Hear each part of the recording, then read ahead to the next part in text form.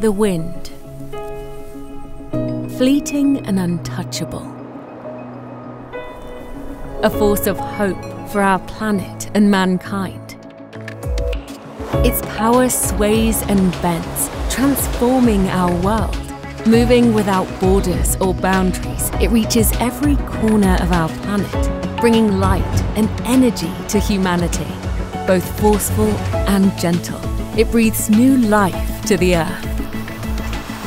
As we harness its power, we are reminded that even the smallest movements can create great change. Together, we can create a brighter and more sustainable future for generations to come. Let us take this opportunity to embrace a future that is clean, renewable, and full of promise. Let us strive to create a better tomorrow. Let us celebrate this Wind Day.